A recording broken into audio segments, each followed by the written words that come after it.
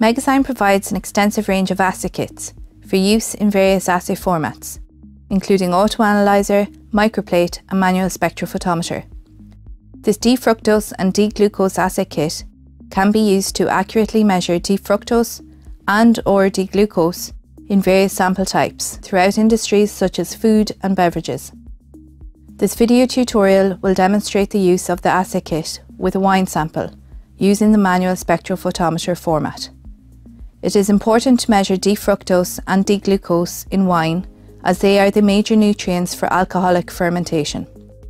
The level of residual sugar dictates the sweetness of wine and contributes to the flavour and mouthfeel. This kit contains sufficient reagents for either 110 or 220 manual assays and is supplied with a detailed data booklet.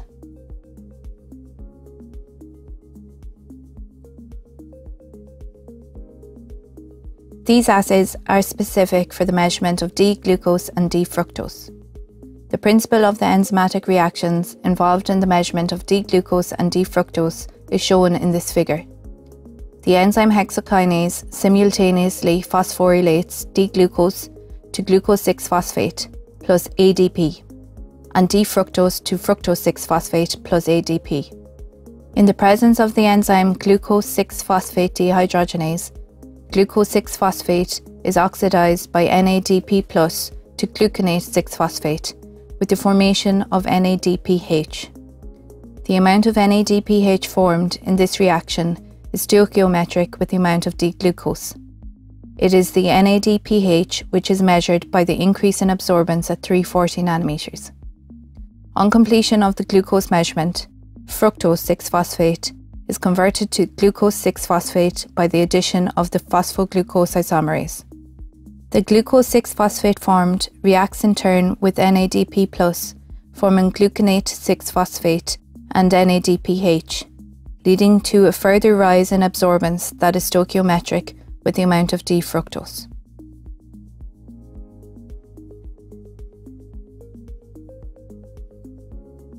Prior to sample analysis, the kit components should be prepared as described in the kit data booklet, and once prepared, they are ready for use in the manual assay procedure.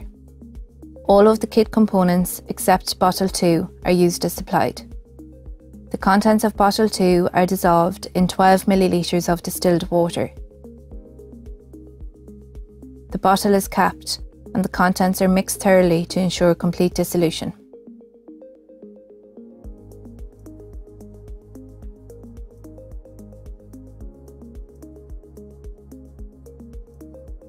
Follow the manual assay procedure as described in the data booklet.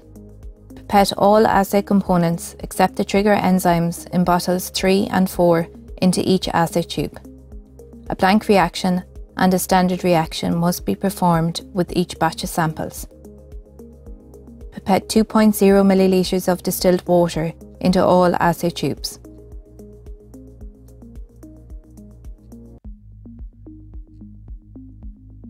Pipette 0.1 millilitres of sample to sample assay tubes.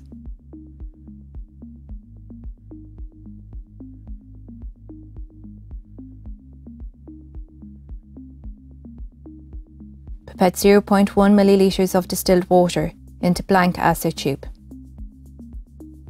Pipette 0.1 millilitres of bottle 5 kit standard into standard assay tube. Pipette 0.1 millilitres of solution 1 into all assay tubes.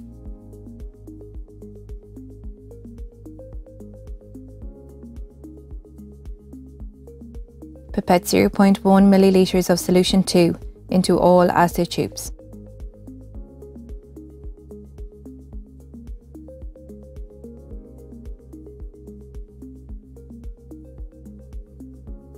When all of the components have been added, Mix the tube contents thoroughly and incubate the tubes in the 37 degrees Celsius heating block for approximately 3 minutes. After 3 minutes, record the first absorbance reading, A1, at 340 nanometers for all of the assay tubes. In this demonstration, we are using the MegaQuant Wave spectrophotometer set to read at 340 nanometers.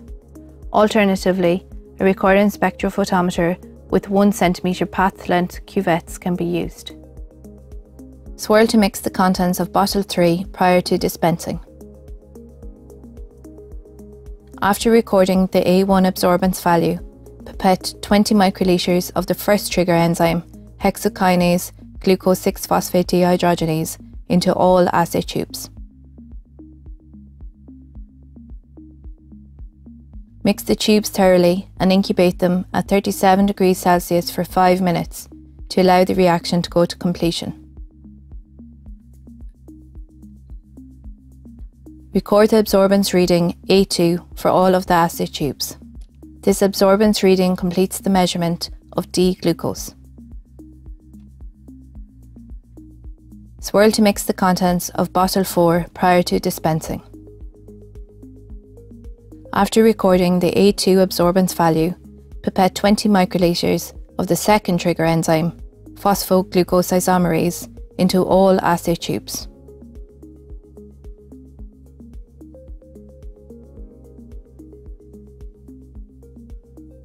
Mix the tubes thoroughly and incubate them at 37 degrees Celsius for 10 minutes to allow the reaction to go to completion.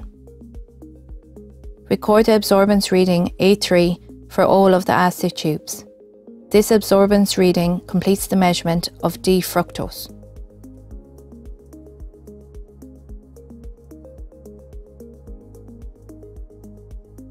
The absorbance readings A1 and A2 of the sample and the blank reactions are used to calculate the D-glucose concentrations in the original samples. The absorbance readings A2 and A3 of the sample and blank reactions are used to calculate the D-fructose concentrations in the original samples. When performing this test using the pre-installed protocol on the MegaQuant Wave spectrophotometer, the results will be automatically calculated and printed via the onboard printer, or the data can be exported to a computer using the SF Capture software. Please see your MegaQuant Wave video for further details. If the results output are raw absorbance values for both blank and samples, calculations of D-glucose and D-fructose content can be performed manually as described in the calculation section of the kit booklet. Megazyme has also developed specific Excel-based MegaCalc applications for each Megazyme kit to allow quick and easy results analysis.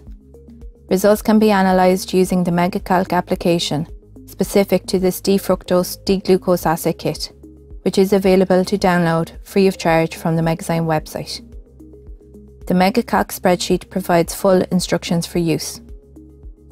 Open the MegaCalc worksheet and input the following. Sample details. Absorbance readings for the blanks.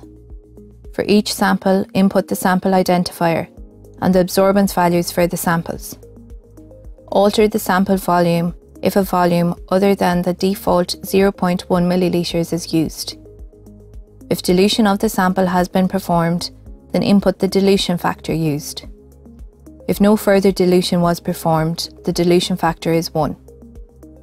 When all of the data has been entered, the concentration of D-glucose and D-fructose in the sample is automatically calculated and given as grams per litre in the original sample. For solid samples, input the concentration of the original sample extract in grams per litre. The concentration of D-glucose and D-fructose in the solid samples is then automatically calculated and provided as grams per 100 gram in the original sample.